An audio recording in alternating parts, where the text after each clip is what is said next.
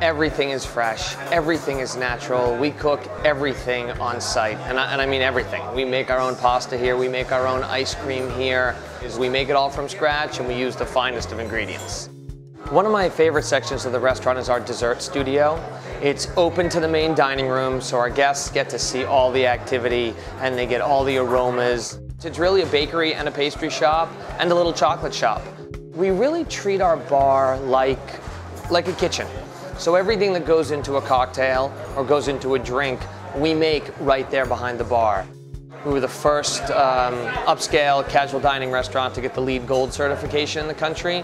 When we talk about green, it's more than just the food and the quality of food and how we build the building. For us, it's also the sustainability of how we treat our people, how the employees are treated really like a family. And, and again, we see the whole business through the, the lens and the eyes of an American family farmer.